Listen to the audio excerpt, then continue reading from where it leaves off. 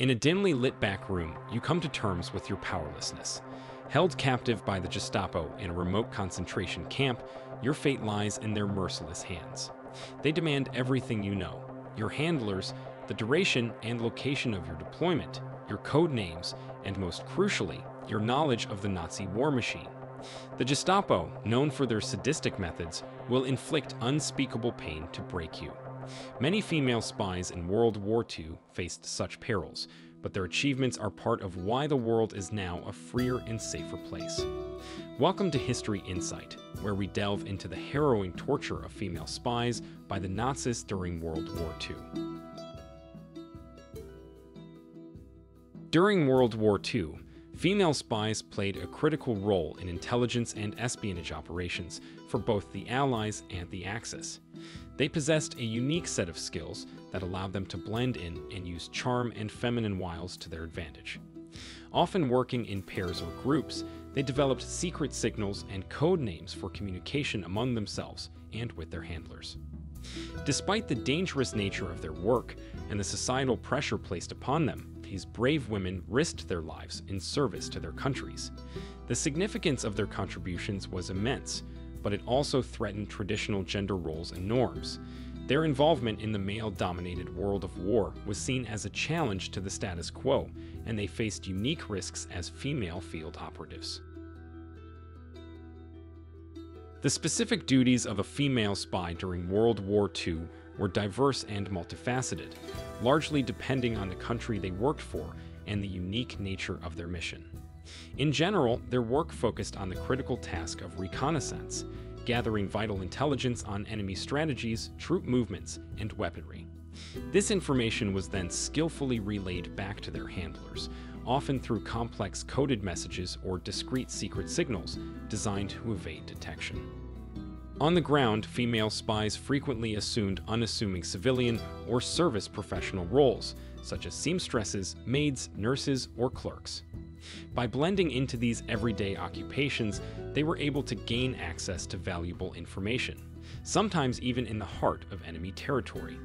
By engaging in casual conversations with targeted individuals, they could inconspicuously glean sensitive details that would prove invaluable to their mission.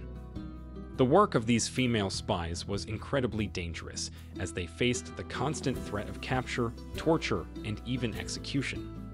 Operating behind enemy lines, they had to maintain a facade of normalcy, even under the most stressful and precarious circumstances. Many of these courageous women faced additional challenges due to discrimination and harassment in a male dominated field as they navigated the complex web of wartime espionage. Despite these obstacles, female spies embraced their duties with an unwavering sense of patriotism and a deep desire to contribute to the war effort in a meaningful way. They put their lives on the line, demonstrating resourcefulness, ingenuity, and determination that often proved instrumental in turning the tide of the conflict. In addition to their vital intelligence gathering roles, female spies also played a critical part in sabotaging enemy infrastructure, organizing resistance networks, and facilitating the escape of prisoners of war. Through their resilience and dedication, they helped to shape the outcome of World War II, leaving a lasting legacy that serves as a testament to their bravery and commitment. Many female spies became famous after the war, their stories inspiring generations to come. Some of these remarkable women include Noor Inayat Khan, Virginia Hall, Krystyna Skarbek, and Josephine Baker. Each of them served in various capacities, such as wireless operators, intelligence network builders, and couriers. Noor Inayat Khan, a British agent stationed in France, worked as a wireless operator for the SOE short for Special Operations Executive. She transmitted vital intelligence back to London from occupied France using the codename Madeleine.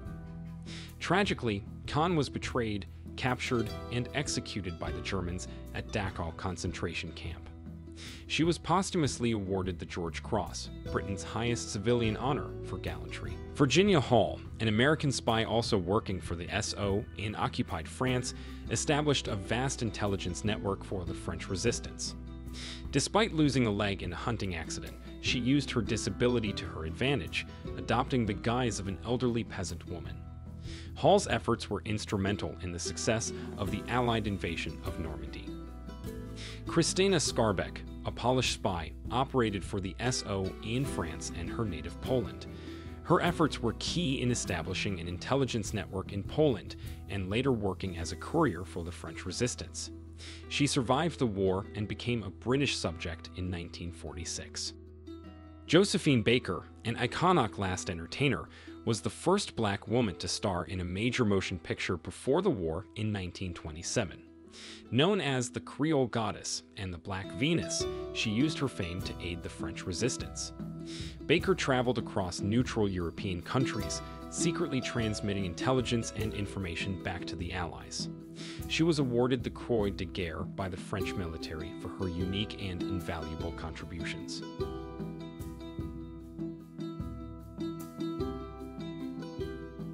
Capture was undeniably the worst fate a female spy could face during World War II, as the consequences were often brutal, painful, and life threatening. Female spies received similar treatment to their male counterparts when captured, with imprisonment, torture, and execution all being possible outcomes. Although Allied forces generally offered better treatment to captured spies than the Axis powers, conditions were far from comfortable and the future uncertain. Female spies working for the Allies faced an especially grim fate if they were captured by the Gestapo, the German secret police. The Gestapo were notorious for their callous and heartless treatment of female spies, employing a variety of cruel physical and psychological torture methods in an attempt to extract valuable information. These methods ranged from severe beatings and sensory deprivation to forced labor and exposure to extreme temperatures. One of the most famous cases of a captured Allied spy was Noor Inayat Khan, a British Indian agent of the Special Operations Executive. Betrayed by a French collaborator, Khan was captured and subsequently subjected to relentless torture by the Gestapo in several prisons. Ultimately, she was taken to the Dachau concentration camp in 1944. Despite the brutal treatment she endured, Khan displayed extraordinary resilience and courage, refusing to divulge any information to her captors. Other captured SOE agents, such as Odette Sansom and Violet Szabo, also endured unimaginable torture and suffering in concentration camps.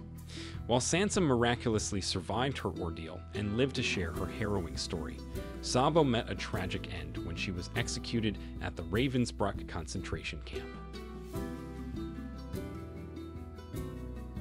The intelligence gathered by spies, including many women, had a profound impact on the overall success of World War II. Some notable examples include Operation Overlord, the development of the V 1 and V 2 rockets, and the invasion of Italy. The success of Operation Overlord, the Allied invasion of Normandy, was heavily reliant on intelligence collected by spies, many of whom worked for the SOE female spies played a crucial role in ensuring the operation's success, which ultimately turned the tide of the war in favor of the Allies. The V 1 and V 2 rocket programs were significant technological advancements for Germany during the war. Polish spy Krystyna Skarbek gathered vital information about these programs, enabling the Allies to conduct bombing raids and sabotage operations against the factories producing the rockets. The invasion of Italy one of the last major theaters of war, was also influenced by the efforts of female spies. British spy Noor Inayat Khan's critical transmissions played a vital role in the successful invasion of Sicily, which paved the way for the Allies' advance through Italy.